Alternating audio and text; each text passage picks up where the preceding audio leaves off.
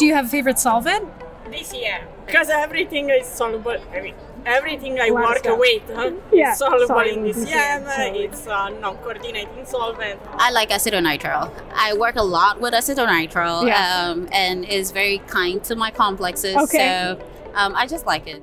I think ether. It's so versatile Ether. and it smells great. Really good Don't one. smell them first. Smells great. That's a crazy answer. Maybe like ethyl acetate. I just came back from like talking about how DCM is kind of horrible and terrible, um, and it smells and it burns. Maybe hexane is a close second because it evaporates so quickly. These are we- we've not heard these You so far. These are really clever. I don't know. Ethyl acetate, it just comes off beautifully. It doesn't smell. Never gives me a headache. Somebody said ether, and I was like, really? Ether's crazy. Yeah, I Oh my know. I was like, okay, good for you. Yeah, I mean, I guess ether's kind of cool because then like you can see it Yeah. evaporating. You know, It is cool.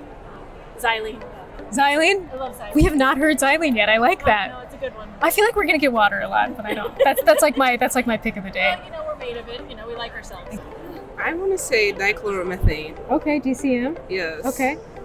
I don't like the smell actually, but a lot of people don't like this. yes, but I work with it a lot, so dichloromethane. Ah, mine is acetonitrile. Acetonitrile does have the property that um, it is cheaper Okay. available.